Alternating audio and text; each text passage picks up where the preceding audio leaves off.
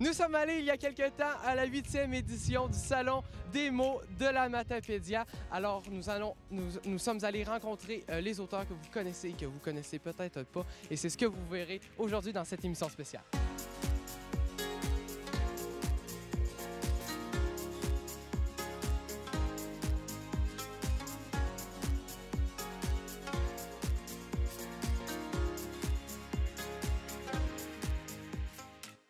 Geneviève, ton troisième roman, ton premier roman de fiction. Alors, ça parle un peu de quoi? Bien, ça parle dans le fond euh, d'une femme, cougar, et non pas de l'animal. Euh, qui C'est une femme, dans le fond, qui s'est faite laisser euh, à 40 ans, elle a deux enfants. Puis elle devient. puis elle s'est faite laisser, elle s'est faite remplacer aussi assez rapidement. Fait qu'elle devient vraiment frustrée contre les hommes. Puis elle décide de se venger en devenant une croqueuse, une traqueuse, une, de, de jeune homme, dans le fond, là. Et est-ce qu'on peut te reconnaître à travers ce roman, même si c'est un roman de fiction? Est-ce qu'il y a des ressemblances entre tes personnages ou des choses comme ça? Mon Snorro, là. ben, dans le fond, parce que c'est ça, hein, on a dit que c'était cougar quand même, hein. Non, mais euh, euh, dans le fond, euh, on peut, on peut me reconnaître parce que dans le fond, on, va voir euh, des lieux peut-être que j'ai déjà visités, tout ça, mais ce sont, tu sais, je me suis inspirée de gens que j'ai rencontrés, je me suis inspirée de lieux que je connais, mais à partir de ça, j'ai tout inventé, là. Tu sais, des fois, il peut y avoir eu, euh, parce que là, les gens savent que j'ai une Mustang, puis Eve, a une Mustang aussi dans le livre, mais c'est parce qu'à un moment donné, mon frère m'avait prêté sa Mustang avant que je la, fasse l'acquisition pour euh, monter à Trois-Rivières. Puis pendant que je faisais la route, j'avais des amis qui avaient une, BMW Z4, comme je parle dans le livre. Puis euh, on s'est suivi un moment pour aller ch- chez mon éditeur, puis les autres se retournaient chez eux. Puis là, ça a juste eu l'idée d'une comme une genre de pas poursuite en voiture, mais de voitures comme ça décapotables qui se croisent, puis de, penser à la genre de société secrète des des des, des, des, euh, décapotables qui se signent comme les moteurs se signent. C'était parti de là. C'est des, choses comme ça, mais sinon, c'est pas moi, Eve. C'est vraiment un personnage que j'ai inventé.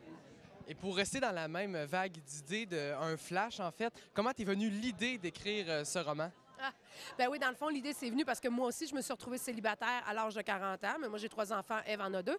Puis, euh, sur le coup, tu sais, je me disais, bon, euh, on est dans une petite région. Les, gens qui pourraient s'intéresser à moi ou les gens avec qui je pourrais m'intéresser, il n'y en a pas une tonne. Tu sais, j'ai dit, ceux qui, ceux qui sont euh, dans le fond, sont, sont soit euh, en couple ou sont plus jeunes que moi. Fait que là, j'ai eu l'idée, je disais, à moins que je vire cougar, mais c'était, j'ai dit ça à la blague, mais ça a fait comme la bonne idée pour un livre. Puis je suis partie. Je suis partie à écrire à partir de ce moment-là. Et t'es plus du genre à écrire de la biographie, mais là, tu t'es allé vers la fiction. Est-ce plus dur d'écrire de la fiction ou est-ce plus dur d'écrire de la biographie? Euh, c'est une bonne question. C'est sûr qu'un auteur, quand il commence, souvent, il va, il va, il va parler de lui. C'est- la plupart vont faire une biographie, une autobiographie, euh, parce que c'est facile. Hein? Puis j'ai quelqu'un qui me parlait l'autre fois de, au Salon du Livre de Québec, quelqu'un qui me parlait qui connaissait Marie Laberge. Puis il disait, c'est- ses, ses grandes amies, là, elle faisait un lancement, fait qu'il venait la rencontrer. Puis il disait, nous, on, reconnaît quelque chose de Marie dans chacun de ses livres. Elle, elle s'en rend pas nécessairement compte, mais c'est ça. Puis là, on, est capable de dire à tel moment, puis ils font comme, elle fait comme, ah oui, c'est vrai. Fait que je pense qu'on a toujours un petit peu de nous dans ce qu'on lègue, euh, mais c'est ça. faut arriver à être capable de créer des personnages. Je pense que c'est la coupure, mais un, coup que c'est fait, euh, ça se fait bien. Mais c'est sûr qu'il y a toujours un, petit quelque chose de nous pareil, parce que c'est comment on pense aussi, tu. Fait qu'on est bien beau inventer, là. Euh, je pense pas que ceux qui font des livres de tueurs en série, c'est parce qu'ils ont tué quelqu'un, là. On s'entend, là. Mais on a toujours une partie, de nous qui reste quand même. Et euh, pour finir, chaque auteur, ses, idoles, euh, les lectures qu'il aime plus lire et qui l'inspirent. Pour toi, c'est qui? Moi, j'aime beaucoup euh, Mary Higgins Clark. C'est sûr que là, on parle d'une auteure américaine, mais si on veut parler d'auteur québécois, euh, j'aime beaucoup, euh, dans le fond, celle qui écrit, voyons, Maud Graham, là, j'ai un blanc, là.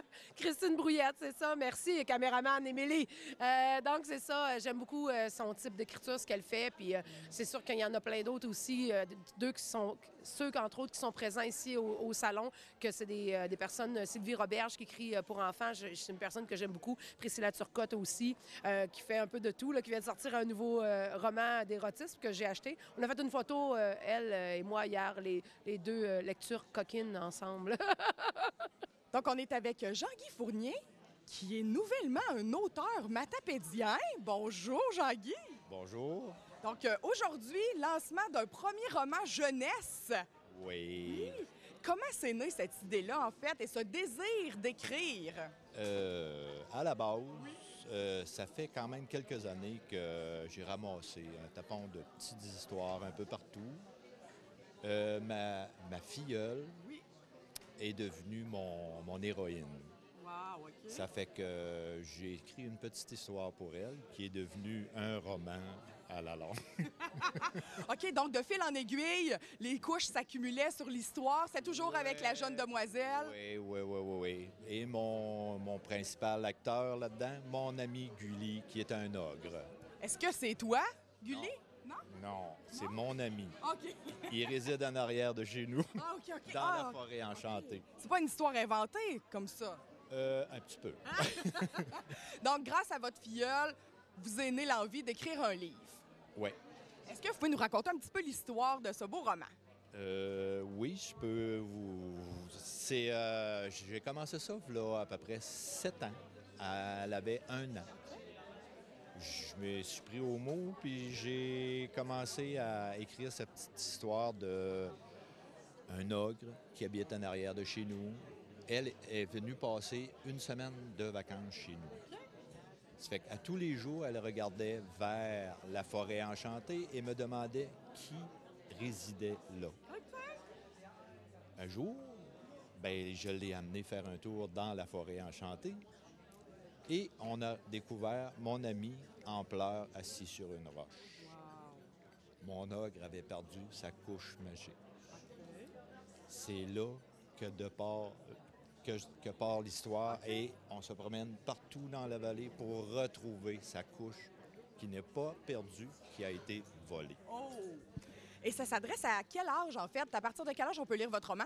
Euh, de 8 ans et demi, 8 ans, 8 ans et demi, 9 ans à 100 ans pour les cœurs jeunes. Toujours bon des histoires fantastiques, hein? C'est toujours Ouais, bon. ouais, ouais, je pense qu'elle est bonne, mon histoire. Et euh, dans le fond, euh, vous avez la chance d'avoir euh, quelqu'un qui connaît le milieu de l'édition dans votre famille. Ça vous a aidé à, à propulser votre roman, en fait? Oui, ma sœur m'a donné un gros coup de main et l'ami de ma sœur, qui est une résidente, de, une ex-résidente de Sébec, Jacinthe Tremblay, Oui, OK. qui est la fille à Léo Tremblay. Oui, de Léo Tremblay. Oui, pour, pour passer la... Pour faire la plug. On coupait ça. Ouais, c'est ça. Ça fait que mes deux, mes deux et édi- amis. mes deux, mes deux éditeurs Ouais. ont pris en charge le livre au complet et ça a donné un produit extraordinaire. Oui, qu'est-ce que ça fait d'avoir son bébé dans les mains? Euh, ça procure euh, toutes sortes euh, de joie. Oui. Et euh, je pense que j'ai découvert euh, qu'il y avait pas mal de monde qui avait de talent ici. Là. Oui, hein? Regarde, euh, je- à tous les années, je vais revenir, ça c'est sûr et certain. C'est sûr que pas, je ne ferai pas éditer un livre à tous les ans, mais je vais revenir, ça c'est certain. Chantal Damour, bonjour. Tu as écrit un roman d'amour, justement. Euh, ça parle de quoi à peu près? Euh, dans le fond, c'est euh, l'histoire d'Emma Gravel, une gynéco-obstétricienne, euh, qui repousse les hommes depuis huit ans, euh, jusqu'au jour où elle rencontre Ethan Lane, un jeune homme d'affaires euh, très séduisant, euh, qui va réussir à percer un peu sa carapace, à créer un lien, d'am- un lien de, de confiance avec Emma. Puis il y a une histoire passionnelle qui va se développer. D'accord. Euh, comment t'es venue l'idée d'écrire ce roman? Euh, c'est suite à un souper de famille durant lequel on parlait de, des auteurs. Puis le lendemain, je me suis levée en me disant Chantal, avec l'imagination que tu as, tu es sûrement capable d'inventer une histoire. La- L'affaire, c'est que je savais pas si j'avais le talent pour l'écrire. Fait que j'ai essayé, je me suis lancée, puis ça a marché. C'est ton premier roman? Oui. Ouais, c'est le premier euh, tome d'une trilogie, en fait. Et euh, les autres, euh, le deuxième, tu penses qu'il il va sortir quand environ, si tu as une date? Euh, je peux pas dire la date exacte, mais ça va sortir, il va sortir au mois d'août. Alors, euh, t'es- t'es vite sur l'écriture. Ouais, ben dans le fond, euh, mes deux premiers tomes, ils étaient déjà écrits avant que le premier il sorte finalement. Euh, le troisième, il est en cours de route. Là, il me reste environ 70 pages à écrire. Et est-ce qu'il y a des ressemblances entre tes personnages ou l'action euh, principale du roman, entre toi et tes personnages, en fait? Euh, je dirais la- le seul lien, c'est que Emma est gynéco-obstétricienne. Dans le fond, elle, elle est médecin. Moi, je travaille dans un hôpital aussi. Fait que c'est pas mal le seul lien qu'il y a entre elle et moi. Le reste, c'est, tout fictif. Là, dans le fond, c'est un mélange d'humour, de médecine puis de sensualité. Donc, on est avec euh, Léane Gamache, récipiendaire du prix Jacqueline Paquette au Salon des mots 2018. Bonjour, Léane. Bonjour. Hier, tu as eu la surprise, en fait, d'être gagnante et en plus de recevoir ton livre dans les mains édité, euh, format livre, en fait. euh, Comment tu as, reçu ça? en fait? Que- Décris-moi un peu tes émotions d'hier quand tu as reçu ton livre. Ben, j'étais vraiment surprise. Je, je savais pas comment réagir. Il y avait plein de monde, j'étais gênée. Puis là, je m'attendais pas à ça. Là, j'ai comme figé. Puis là, ben, après ça, je suis descendue. Puis là, je me suis mis à pleurer. J'étais vraiment contente. Ouais, j'étais sans mots. Là. Puis euh, euh, le lendemain, comment on se sent? là? Est-ce que c'est plus réaliste? Ouais, là, là, je suis redescendue sur terre. J'étais vraiment contente. Est-ce que tu peux m'expliquer un peu c'est quoi ce concours-là, Jacqueline Paquette? En fait, comment euh, comment tu as participé à ça? Ben, euh, mon enseignant, il nous a annoncé dans le cours qu'on pouvait participer à un concours, qu'il fallait écrire un roman entre 15 000 et 30 000 mots. Là, moi, depuis que je suis petite, j'en écris des genre pour le fun. Puis là, ça m'a intéressée. Puis là, finalement, j'ai... J'ai essayé, ouais. Puis je l'ai fait au complet. Puis ça a donné quelque chose. là. Donc, tu as écrit spécifiquement pour le concours. C'est pas quelque chose qu'il y avait dans tes livres chez toi. OK. Non. Ouais. Peux-tu nous parler un peu de héritage? Euh, Qu'est-ce que l'histoire de ce livre? Ben, la personnage principale, elle me ressemble un peu. C'est, je me suis un petit peu inspirée de moi. Il y a de l'inspiration qui vient d'un peu tout le monde. Puis euh, c'est un, un couple qui part. euh, ben, son père est malade. Puis là, euh, tranquillement, pas vite, là, il va se passer comme d'autres choses. Puis là, ils vont partir en voyage. Euh, puis là, pendant le voyage, il va arriver plein d'aventures, dont un tremblement de terre. Puis là, On dit pas la suite, hein? On dit pas la suite. Donc, c'est un roman amour-aventure? Comment tu le qualifies? ben, c'est plus aventure, je dirais. Ouais. OK. Puis donc, euh, c'est-tu trop indiscret de te demander t'as quel âge? Euh, 17 ans. Donc, premier roman à 17 ans. Est-ce que tu te dé- dé- dé- dessines vers une carrière littéraire? Euh, Qu'est-ce que tu veux faire quand tu seras grande? Ben là, je m'en vais l'année prochaine en technique de bioécologie à la Pocatière. Mais je sais pas, je vais sûrement continuer d'en écrire. là. J'ai plein d'idées, puis euh, ça me tente de continuer là-dedans. Priscilla euh, Turcotte, bonjour. Tu as euh, écrit et publié ton livre Les pétales de rose. Peux-tu nous en parler un peu plus? C'est quoi en fait l'histoire? Oui, ben c'est l'histoire de Rose euh, qui, euh, dans le fond, trouve son mari au lit avec une autre femme. Alors, euh, bien, ben, elle se sépare et euh, deux ans de jeûne charnel, elle trouve Jérémie qui lui fera découvrir les plaisirs de la chair. Et on va, à la fois. et on va tout de suite rentrer dans le vif du sujet. Tu es plus du genre à faire des romans jeunesse. Là, tu t'en vas dans un roman érotique. Ça, ça a été quoi la, la barre? Tu t'es faite jeunesse puis érotique. C'était quoi le. Euh, J'écris déjà pour les adultes, mais dans le fantastique. Mais euh, ouais, j'écris dans le fond euh, ce qui me vient par la tête et dans l'actualité. Et comment t'es euh, t'es venu l'idée d'écrire ton roman Les pétales de rose? De fil en aiguille, en attendant parler mes clients. et quand j'ai écouté les 50 nuances de gris, j'étais fru. Puis j'ai dit, je vais m'en écrire un, moi, un beau livre érotique. Et euh, du côté euh, des livres euh, jeunesse, tu as sorti Princesse Cupcake. Peux-tu nous en parler euh, plus? Oui, c'est l'histoire de Vanille Sucrée, un cupcake, qui n'a pas ses pouvoirs magiques. Puis elle, va elle va décider d'aller voir la fameuse pâtissière pour lui aider à, à l'aide de ses amis à retrouver ses pouvoirs. C'est un conte à colorier, il y a des images et il y a des recettes à la fin de mes personnages euh, de cupcake. Tu écris du jeunesse et tu écris aussi de l'adulte. Est-ce plus euh, facile d'écrire jeunesse ou adulte? Ah, c'est- c'est difficile les deux, euh, tout dépendant comment on file, mais je trouve que c'est plus difficile d'écrire des contes parce qu'il faut condenser le sujet dans les contes plus, plus dans les livres plus vieux. Donc, on est avec Maïna Pelletier, une jeune auteure de BD Sable. Bonjour, Maïna. Bonjour. Donc, tu euh, lances ton. En fait, ton les premiers livres est lancé depuis quelques temps. C'est euh, un conte. Est-ce que tu peux me raconter un petit peu l'histoire de ton livre? c'est un dragon blanc, puis euh, il y a les dragons de l'arc-en-ciel qui se chicanent comme pour être les plus importants, puis résout le problème à la fin.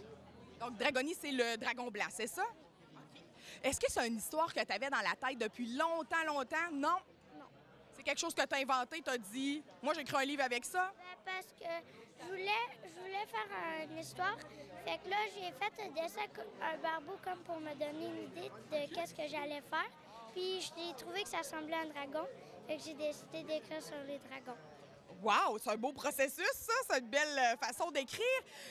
Là, tu as fait cette histoire-là, puis tu t'es. Est-ce que c'est toi qui as dit à tes parents, moi, je veux faire un livre, j'aimerais ça le vendre, j'aimerais ça le. Je voulais juste, euh, je voulais juste faire une histoire comme, comme pour, juste pour moi, mais quand j'ai montré ça à maman, elle a dit qu'elle qu'elle voulait qu'on le fasse imprimer comme ça. Ben, c'est une très bonne idée. Il est très joli, ton livre. Puis, euh, dans le fond, tu as fait un lancement à ton école primaire. Tu en as vendu beaucoup, je pense, hein? Oui. Euh, une boîte de 100 au complet, une boîte de 75 au complet.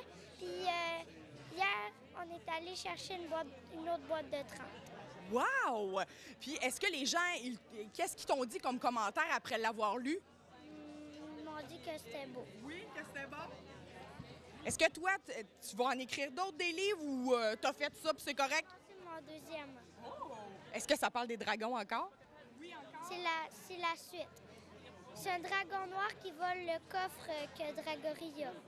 Daniel Projean, Georgette Renault, euh, bonjour à vous deux. Pouvez-vous un peu euh, nous expliquer, euh, vous êtes qui, vous écrivez euh, dans quoi en fait? Oui, on est, euh, on est un collectif. On est des amoureux des mots. Puis euh, ça s'appelle La porte ouverte sur les mots, M-O-T-S et non M-A-U-X. Euh, et on aide les gens. On est un lieu de motivation, en fin de compte. Et on aide les gens. Les auteurs, quand ils sont mal pris avec leur manuscrit, ils se disent ben là, c'est beau, j'ai écrit mon manuscrit, euh, 30 pages, 600 pages, peu importe. Qu'est-ce que je fais avec? Est-ce que je l'envoie dans une maison d'édition? Est-ce que je le fais de l'auto-édition? Et on leur explique le cheminement normal. Et après ça, bien, ils choisissent eux autres mêmes. Puis s'ils choisissent l'auto-édition, bien, à ce moment-là, nous, on va les aider à trouver des, euh, des, des, euh, des maisons, des, des imprimeurs, et, euh, etc., etc. Des correcteurs d'épreuves, tout ça, parce que ça, c'est bien important.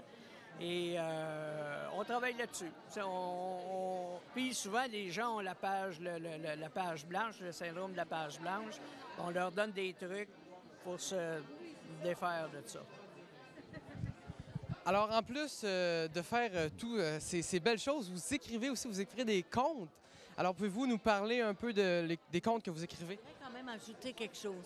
Tout ce qui se fait à la maison, c'est gratuit. On ne cherche pas aucun sou.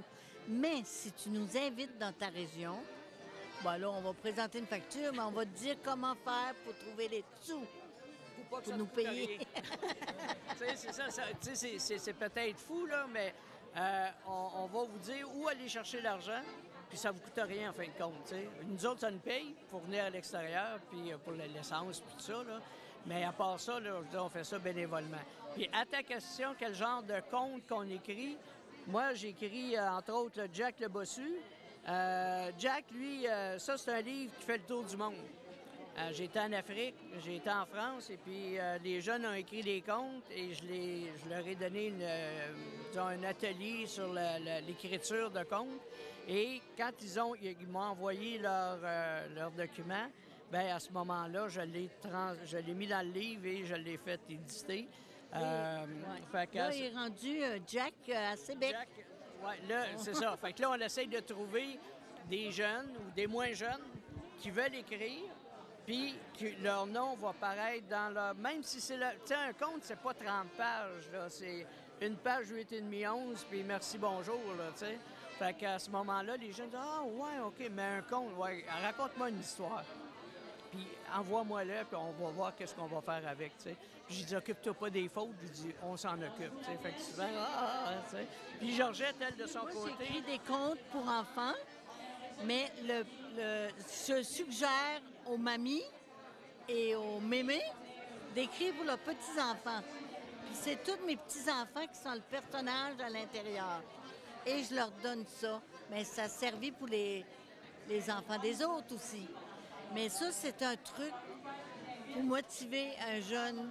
Oh, j'ai un livre, c'est ma photo qui est là et c'est moi qui est à l'intérieur. Hein, c'est très fun. Mais j'en écris plus là maintenant. Euh, Je vais écrire des contes pour ben, les contes qu'on fait, parce que nous autres, on est des conteurs aussi. Alors j'en ai une quarantaine là, qui sont prêts. À un moment donné, je vais sortir et de la poésie. Donc je fais de la poésie aussi avec le nouveau livre qui est sorti. C'est Le temps pris le temps aux îles de la Madeleine. Ben, c'est des photos avec de la poésie. Et euh, les autres projets, ben, je vous ai dit qu'on était des conteurs, mais on est des menteurs aussi. On s'en va en France compter une menterie dans un festival de menterie qui ne doit pas durer plus que cinq minutes. Alors, on a été invités pour aller compter des menteries aux Français, cinq minutes. Euh, puis en même temps, on va faire une tournée euh, en Bretagne. Euh, et puis, on- en tout cas, on passe 22 jours en France. Fait que, euh, aller faire des petits tournées un peu ici et là. Et puis, le concours de menterie à Montcrabeau. Puis, si jamais ça vous intéresse de savoir c'est, c'est quoi ça, ce concours-là, là, allez voir Mon Crabeau. Et non Mon Crapaud, là, mais remplace le P par le B. Puis, tu vas voir tout le village est menteur. Tout, tout le village, c'est, ils sont 800 dans la population. Les 800 participent au concours et dans le village, ils ont fait un circuit spécial euh, avec 14 stations, comme le chemin de croix. Et puis, c'est vraiment extraordinaire de voir ça. tu sais. Quand tu demandes une information, tu sais pas s'ils disent la vérité ou pas. Là, fait que, il faut que tu fasses attention. tu mets ton GPS dans ce temps-là. Est le fun de ce concours-là, c'est qu'on va être jugé par 40 juges. Et non par trois, 40 juges, habillés en toge et puis... euh, Comme à l'ancien temps, là. Ouais, c'est, pas mal intéressant. On va vous donner des, des nouvelles de toute façon quand on va Dès revenir. notre Fait que- retour, euh, ben, on a un journal aussi. Si ça vous intéresse, vous avez qu'à nous écrire. Puis euh, on a un journal à trois, quatre fois par année qui sort et qui est édité, qui s'en va aux bibliothèques après. Mais si vous voulez nous rencontrer pour une entrevue, pour savoir ce qui s'est passé, on est les bienvenus. Vous êtes les bienvenus. Nous sommes avec Mme Louise Portal, présidente d'honneur du 8e Salon des mots de la Matapédia. Madame Portal, bienvenue dans la Matapédia. Ah ben écoutez, moi, c'est un vrai bonheur depuis que je suis arrivée. Ça fait même pas 48 heures encore. Et tu, en as été témoin. On a vraiment beaucoup de témoignages hein, d'affection, d'amour de la part des lecteurs, des lectrices. Il y a beaucoup de gens. euh, c'est une vraie fête des mots et des lettres. Donc, vous, vous êtes une amoureuse des mots, en fait, autant à, l'écrit qu'à la chanson. Euh, le cinéma aussi interprète des mots.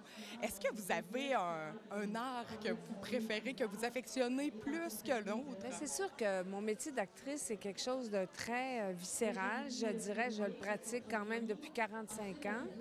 Euh, J'aime beaucoup, pour moi, faire un film, c'est comme vivre une nouvelle aventure amoureuse, tu sais. C'est un voyage, euh, devenir quelqu'un d'autre, avoir des partenaires, des enfants, parfois des, parfois des amants, parfois euh, un, mari qui va mourir, comme dans, dans Paul à Québec. Mais je dirais que les mots écrits, pour moi, sont au cœur de ma vie quotidiennement. J'aime beaucoup écrire mon journal tous les matins, fidèlement depuis l'âge de 13 ans. J'ai 110 cahiers. Alors, c'est pour ça que j'ai préparé le journal de ma vie guidé par ma plume. Donc, euh, oui, parlons-en du journal de ma vie. En fait, c'est un, journal que nous, on peut compléter, mais vous nous conseillez là-dedans. Je vous guide, en fait. Ce que je fais, c'est que toujours sur la page de gauche, il y a une page de mes cahiers avec un extrait, avec un montage photo, parce que moi, j'agrémente mes cahiers de- de- d'images, euh, de, photographies, de dessins.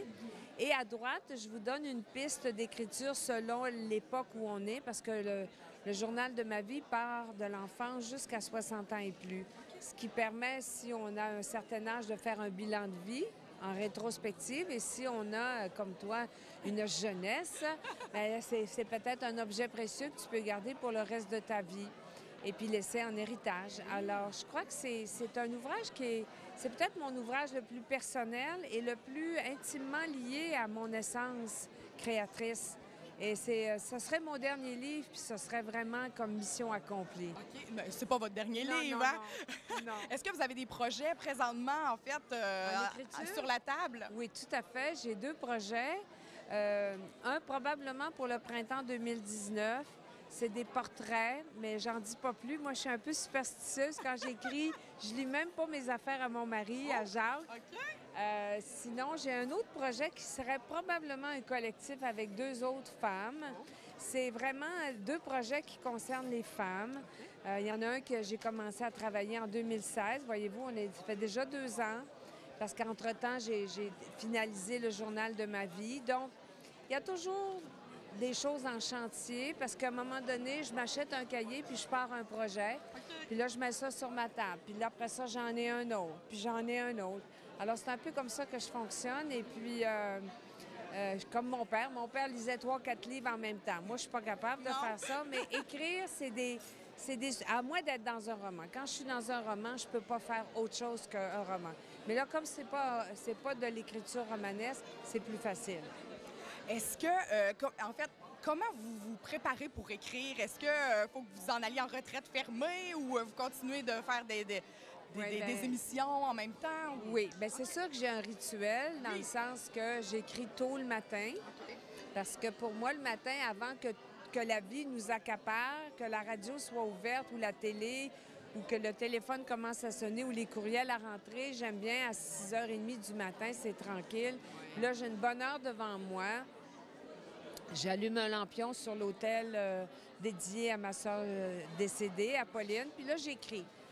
Puis ensuite, je m'assois avec mon, mon mari, avec Jacques, puis on, on échange. Tu sais, des fois, on peut se lire qu'est-ce qu'on a écrit le matin. Alors ça, c'est un peu mon rituel. J'écris à la main, même un, un premier jet de roman. Ah oui? Ensuite, après, je peux rentrer à l'ordinateur ce que j'ai écrit la semaine auparavant ou d'autres- choses qui, qui est en chantier. C'est un peu comme ça que je fonctionne. Mais quand j'avais 20 ans, c'est sûr que j'écrivais la nuit avec une cigarette Ben et oui, un euh, verre de vin. Ben oui, ben oui, la vraie Mais image de l'écran. vous êtes rendu sage Ben, je suis rendue à un âge où il faut se coucher de bonne heure. pour être en forme. Ben, c'est-à-dire, je suis rendue plus à une personnalité diurne que nocturne. OK. Oui. OK. Ouais. Et euh, parlant du Salon des mots, en fait, euh, comment vous avez reçu la demande de devenir présidente d'honneur pour cette année? Mais ça, ça m'a réjoui parce que quand Ginette Lemieux euh, nous a contactés, euh, s- euh, a contacté ma maison d'édition, j'ai- tout de suite vu qu'à mon agenda, j'étais libre. Et puis ça, c'est extrêmement important parce que là, je viens, mais tout de suite après le Salon du livre de, de Québec et Trois-Rivières. Donc, c'est comme mon dernier Salon du livre de la saison. Donc, je trouve que votre date est vraiment bien choisie Oui, pour hein? ça. Et puis, j'allais pas cette année euh, sur la côte nord, donc je pouvais vraiment accepter. Puis en même temps, ben, elle m'offrait de non seulement avoir des rencontres de dédicaces, mais aussi avoir des, des activités, parce que c'est important d'avoir des activités, parce que c'est comme ça que les gens nous rencontrent vraiment, puis rencontrent vraiment nos écrits. Donc j'ai fait la- le, le journal ce matin, l'atelier d'écriture du journal, j'ai eu euh, euh, 25 personnes, c'était formidable. Puis cet après-midi, une conférence euh, confidence d'auteur euh, en duo avec mon mari, avec Jacques. Et ce soir, euh, je ferai partie d'une table ronde avec notre beau Raoul puis Sylvain Rivière. Oh! Donc, euh, est-ce que c'était une première visite dans la Matapédia pour vous? Non, pas du tout. Je suis venue il y a, il y a à peu près huit ans euh, faire la tournée avec un film qui s'appelait Le bonheur de Pierre pour sensibiliser les gens aux nouveaux arrivants. Puis je fais deux fois que je viens cette année pour faire des ateliers ici de, de mouvement, euh, de réflexion, de, de cheminement personnel avec euh, Carole Cormier. Donc, euh, je connais quand même un peu les gens d'ici. Alors, c'est toujours un grand plaisir. Bonjour Joël Morissette. Alors, tu fais des livres jeunesse. Peux-tu nous en parler un peu plus de tes livres? Je vois que tu en as beaucoup. Euh, oui, j'ai commencé à écrire à l'âge de 14 ans. J'ai publié mon premier livre, j'avais 15 ans. C'était Au-delà de la cinquième dimension, mon premier livre. J'étais en troisième année du secondaire, alors on a fait le lancement officiel à l'école. Et par la suite, ben, j'ai eu la piqûre de l'écriture et je n'ai jamais arrêté jusqu'à mon septième roman qui a été publié il y a un mois et demi. Maggie, une amie sans passé. Et qui- sept romans, c'est quand même beaucoup. C'est lequel dont tu es le, le plus fier, que tu te dis que c'est vraiment lui que tu as vraiment le plus réussi à écrire? Euh, J'en ai pas, puisque euh, j'ai travaillé quand même fort pour tous euh, les livres. Peut-être que la nouveauté, je l'aime beaucoup parce que c'est le dernier. c'est une nouveauté. Et euh, roman jeunesse, c'est dans quel style? On peut s'attendre à quoi en lisant tes livres? J'aime beaucoup les histoires de fantômes. Alors, c'est romans jeunesse euh, de fantômes avec euh, des, des esprits, euh, des, euh, des maisons hantées. Et tu dis que tu as commencé en troisième secondaire. Qu'est-ce qui t'a donné la piqûre? Qu'est-ce qui t'a donné le goût de dire je, je veux écrire dans la vie? J'écrivais beaucoup avant la troisième secondaire. C'est en troisième secondaire que j'ai vraiment décidé d'aller rencontrer euh, un éditeur, puisque j'avais confiance que mon texte pouvait être, euh, aurait pu être apprécié par les autres aussi. Donc, on est avec Ariane Pearson, une jeune demoiselle de Matane qui vient de publier son premier livre. Bonjour, Ariane. Salut, Willy. Donc, euh, L'autre, est-ce que tu peux nous euh, raconter un peu l'histoire de ton premier roman? En fait, euh, mon premier roman euh, qui s'appelle L'autre, c'est l'histoire de Alex et de Marion, qui ont deux univers complètement différents. Euh, une femme qui est carriériste, l'autre qui est plus volage. Deux univers qui se rencontrent. Ça fait des flamèches? Oui. Donc, est-ce qu'on peut qualifier de ça de chick lit, en fait, un peu euh, pour les femmes, pour les jeunes femmes? On peut dire que c'est pour les femmes. De là, aller dans la chick lit, je m'associe moins à ça. Euh, Il y a de l'érotisme, euh, oui, parce que, évidemment, c'est parce que, parce que, pas de... Voilà, donc euh, oui, il y a beaucoup d'érotisme à l'intérieur. Donc c'est un livre 16 ans et plus, euh, mais qui va plaire là, jusqu'à... euh, Pas d'âge, en fait. euh, voilà. Donc, ton premier roman, euh, d'où vient le- le- l'envie de, de- de s'exprimer par les mots, Ariane? J'ai tellement de choses à dire. Des fois, je trouve que je parle trop. Donc, je me suis dit, je vais me taire et je vais écrire à la place. Et euh, tout a débuté, en fait, euh, subitement. Je m'en allais pas écrire un livre. Une chose en entraîne une autre. Hop, quelques mots, quelques d'autres mots. Ça donne un livre. Moi, je te connais personnellement. Je sais que tu as fait un processus d'écriture euh, un peu spécial. En fait, tu es parti en voyage. Peux-tu nous raconter un peu comment tu as fait pour écrire ce livre-là? Oui, en fait, ce livre-là, euh, je suis partie en voyage vers la fin du processus d'écriture. Il était pratiquement complet, mais j'avais besoin de faire des correctifs. J'avais besoin d'avoir la paix. Donc, je suis partie euh, trois semaines. euh, j'étais au Maroc, j'étais en France pour pouvoir aller chercher une espèce de silence que je retrouve pas ici parce qu'on est toujours branché sur un téléphone, toujours branché sur l'Internet. Écrire, c'est bien qu'on le fait pour euh, la passion, mais à un moment donné, il y a un, passage plus technique où ça devient un travail. Qui dit travail dit souvent procrastination. Et donc, j'avais besoin d'être dans un endroit où je ne pouvais pas rien faire d'autre que d'écrire. Oui, en voyage, je pouvais visiter, mais ça me rappelait aussi que j'avais pas le choix de j'avais pas le choix de continuer mon écriture. Et est-ce qu'il y aura un autre, euh, une suite à l'autre, une, une suite à un autre autre ou, euh, ou carrément euh, un autre volume dans une autre thématique? Je travaille actuellement sur deux projets, donc euh, l'autre autre, autre l'autre, Autre deux? autre deux, et euh, un deuxième livre qui va traiter de la maladie mentale de manière humoristique. Euh, donc, euh, une, euh, une mère qui s'engage dans à peu près tout. Tu sais, les mères, c'est des superwomen. Tu sais de quoi je parle? Donc, des superwomen euh, qui, euh, qui n'ont pas tant le droit à l'erreur. En fait, ils ont le droit, là, mais dans leur tête, les mères, ils n'ont pas le droit à l'erreur. C'est des, des super top. Ils n'ont pas le droit de se tromper. La performance est au top. Et souvent, quand euh, on parle de performance, on parle aussi de problématiques qui viennent à côté. Et euh, donc, c'est ce que je vais aborder là, dans un autre projet. Alors, Raoul Duguay, euh, bonjour. Vous êtes, vous êtes chanteur, vous êtes écrivain, vous êtes poète, vous êtes peintre. La question qui tue, c'est quoi que vous aimez le plus faire dans l'art? C'est quoi votre art préféré? Tous les arts. Un à la fois. Et vous avez, vous avez sorti un nouveau livre qui s'appelle L'arbre qui cache la forêt. Pouvez-vous nous en parler davantage? Donc, ce livre est une biographie, en quelque sorte, euh, qui est écrite par Louis à la- avec laquelle j'ai participé de manière assez considérable. Euh, et c'est l'histoire de ma vie, quoi, de ma vie d'artiste. Et ça, ça raconte 50 ans de carrière, en réalité. Donc, là-dedans, elle, raconte euh, euh, d'où je viens. Moi, je suis. Ma, mère, ma mère est née à Pocketteville, elle est acadienne. Mon père est né à Grande-Rivière, il est gaspésien. Et moi, je suis né à Val-d'Or, en Abitibi. Je suis, je suis abitibien, avec des racines micmac. Et dans le livre, on raconte euh, toute la trajectoire de, euh, tu veux, l'œuvre poétique que, j'ai accomplie. J'ai écrit 18 livres. euh, et naturellement plein d'articles dans plein de, de- de- de revues, journaux. J'ai fait 18 disques en solo et une quarantaine en collectif. J'ai fait 3000 spectacles dans ma carrière, donc. Et puis de plus en plus, je fais des expositions de peinture et de sculpture. Je suis rendu dans ce qu'on peut appeler les arts du silence. La peinture, la sculpture et euh, toujours, j'écris toujours. Alors, c'est ça l'histoire que, que raconte le livre Raoul Duguay, euh, L'arbre qui cache la forêt. Et l'arbre, tu sais, c'est quoi?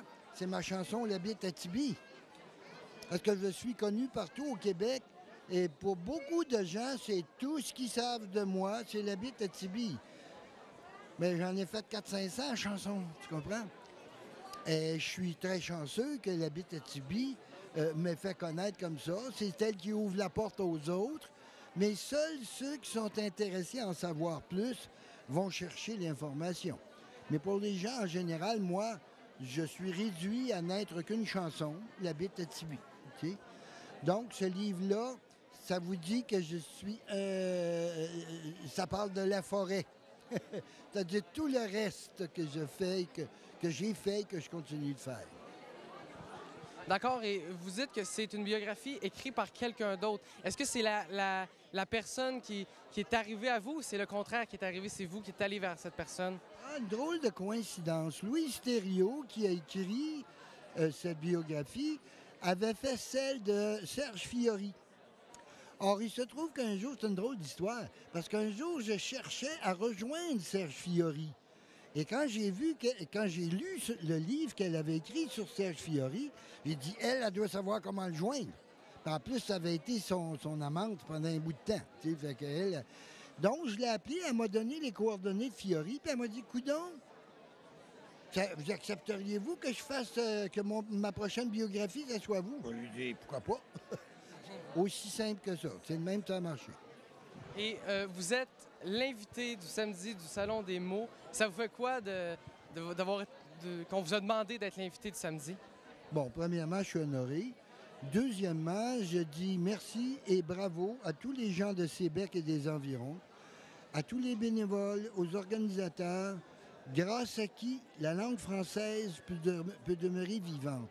Parce que un salon du livre ici, c'est euh, essentiellement en français. hein, Ce sont des livres en français. Et sans, l'écriture, sans l'écriture qui est l'écho de l'identité d'un peuple, on disparaîtrait très rapidement. La bonne nouvelle, c'est qu'il y a beaucoup, beaucoup d'écrivains au Québec euh, et euh, de très bons écrivains. Et je félicite un petit endroit comme ici, c'est bien fait. Euh, ça fait une cohésion sociale aussi. Euh, euh, ça fait partie du fondement même de la culture. Parce que faut pas l'oublier, l'Homo sapiens est né et la culture est née avec la naissance du langage et de l'écriture. Parce que c'est là que la civilisation a commencé. Lorsque l'homme qui était nomade est devenu sédentaire et qu'il a, au lieu de, d'être nomade et de courir pour aller chercher les semences, il les a plantés en terre, puis il est resté là. Il a élevé des animaux, il les a apprivoisés. Et la naissance du village, ça veut dire la cohésion. Ça prend un minimum de 150 personnes pour appeler ça un village. Et, c'est à partir de la volonté de communiquer par un langage commun qui est, que, que a commencé ce qu'on appelle l'humanité, vraiment. Donc l'importance de l'écriture, elle est fondamentale. tu sais. Donc, on est avec euh, Christophe Moquin, qui est un des euh, étudiants, en fait, qui fait partie du club d'écriture de l'Assaut. Christophe, qu'est-ce que c'est le club d'écriture de l'Assaut? Ben, c'est une gang de jeunes qui ont toutes la même passion pour l'écriture, puis qu'ils se rassemblent les midis, puis euh, durant des, des cours aussi, des fois, on, on manque des cours pour faire ça, pour écrire, pour juste vivre notre passion qui est, qui est l'écriture, puis app- apprendre avec des ateliers euh, et tout, là, c'est c'est pas mal ça. C'est des passionnés, finalement. Est-ce que vous avez des contraintes? Exemple, il faut que vous soyez des poètes ou des écritures. Toi, je sais que tu es humoriste. Est-ce que tu en profites pour écrire des textes comiques? Ben, pas encore. J'ai pas encore euh, été dans cette vague-là parce que Euh, c'est surtout des ateliers qu'on fait comme euh, là euh, présentement on a on écrit une euh, on a écrit une chanson pour qui va être interprétée par Marie-Pierre Arthur pour le, le- la, la- la- les Cowboys fringants là leur j'ai jamais le nom mais tu sais de quoi je parle j'ai jamais le nom et ouais c'est ça on le coupera. alors c'est ça il y a plusieurs tu sais, Moi, pour ma part, je sors vraiment beaucoup de, de mon environnement quand je fais ça, mais j'adore ça, puis les autres aussi aiment ça, puis on, on tripe, là, on tripe à faire ça, juste euh, faire autre chose de ce qu'on écrirait habituellement. Dans le fond, vous les mettez en commun, vos textes. l'écriture, c'est un geste solitaire, mais vous partagez ensuite. là. Oui, on a des, on, on a des textes qu'on fait, qu'on qu'on fait seul, des textes libres. On peut écrire sur n'importe quel sujet. Des fois, on a, on a- on a des textes où on est tous sur le même sujet. Puis euh, des fois aussi, on fait des textes collectifs. Ça arrive des fois d'écrire des choses en gang, ensemble, mais ça donne des textes quand même, pour la plupart du, du temps, assez bizarres parce que c'est plein de cerveaux qui se réunissent pour faire un texte, mais ça donne toujours quelque chose de drôle. Puis, vous avez euh, publié un recueil, en fait, euh, pour le Salon des mots. Est-ce que tu peux nous présenter ce magnifique recueil? Alors, euh, c'est un beau recueil de 44 pages. On s'est forcé cette année. On a, on a vraiment un beau recueil. Ça, c'était celui de, de l'année passée. Alors, vous pouvez voir la différence. Cette année, on, on a, on a mis le paquet. Et là-dedans, il y a plein, il y a plein de textes. Comme j'explique, il y a des, il il y a- il y a des textes euh, que quelqu'un a écrits euh, euh, pour, le, pour le fun durant un libre. Il y a des textes collectifs. Il, y a, il y a vraiment un peu de tout. Et c'est aussi, pour le, le feuilleté, c'est aussi acc- accompagné d'images que d'autres élèves ont fait. C'est accompagné aussi de... Des dessins, des photos de l'église de Cause-Abscale. je cherche des dessins aussi comme là. Des dessins aussi. On, est, non, on, on a accompagné, on a essayé de faire de quoi de propre, de beau. Et ça aussi, le dessin de la couverture aussi est, est fait par, euh, par euh, euh, quelqu'un euh, de l'école qui, elle aussi, fait partie du club. Alors, euh, on a mixé plein de, plein de belles personnes ensemble pour faire le recueil. et on- Puis on peut se le procurer, en fait, si on souhaite découvrir vos univers, en fait, l'univers des jeunes matapédiens, on peut se procurer votre recueil. Oui, c'est possible de se procurer le recueil. C'est don volontaire en plus. Vous pouvez mettre, pouvez mettre deux piastres comme vous pouvez en mettre 100. C'est, c'est vous. Si, si vous avez beaucoup d'argent, vous pouvez mettre ça. Mais si, si, si, tu sais, c'est un don volontaire. Euh, puis, euh, j'ai vu récemment que vous aviez été lauréat au euh, Défi Entreprendre, Défi et Ose Entreprendre. C'est rendu en régional pour ça. Alors, c'est, c'est- c'est quand même, c'était quand même intéressant, c'est le fun.